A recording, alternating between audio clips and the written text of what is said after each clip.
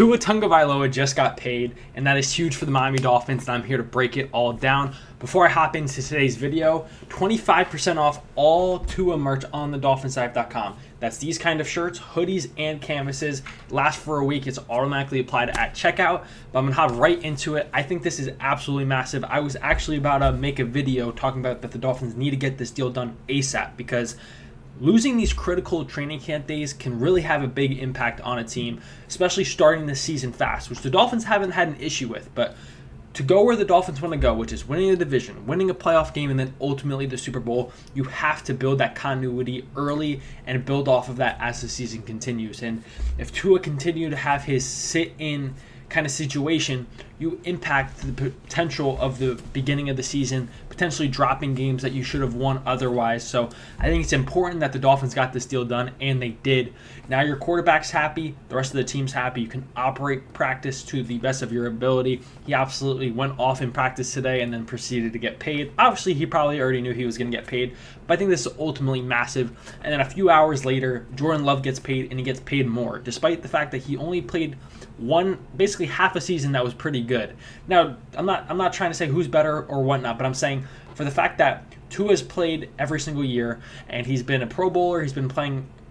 He led the league in passing last year, and Jordan Love, who's played way less, has gotten paid more. It just goes to show that the Dolphins did a good job in this negotiation.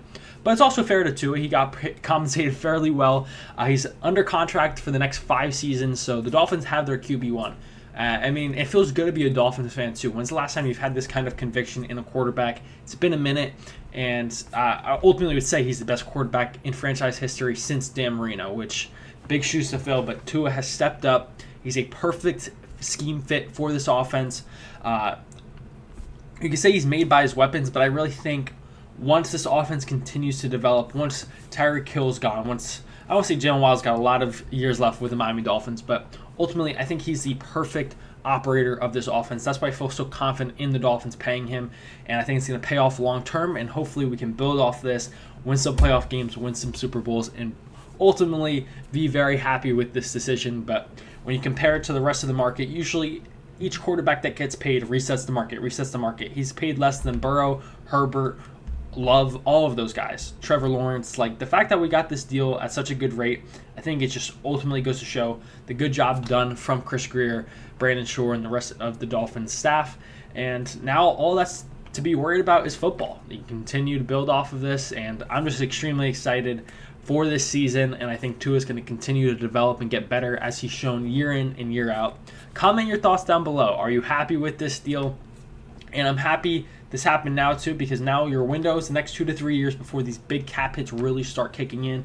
The perfect example of that is Josh Allen with the Bills once he got paid, they still were able to field a very good roster for like two seasons. But then this past year is when they those big cap hits started rolling in, and they had to purge their roster.